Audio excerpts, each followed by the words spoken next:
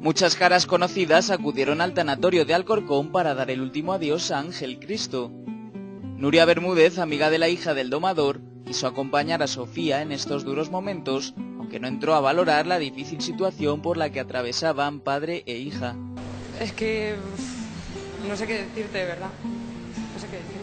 La actriz Rosa Valenti fue otra de las que mostró su apoyo a los hijos del domador y a su exmujer Bárbara Rey. Y he venido a darle un beso a Bárbara, que por cierto está tristísima y pasándolo sí y pasándolo muy mal. La...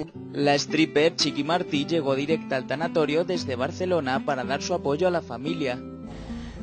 Yo, yo he enterrado a mi madre hace hoy seis días, entonces hace seis días Sofía estaba conmigo en Barcelona y hablé con Bárbara por eso, ¿no? Pero no...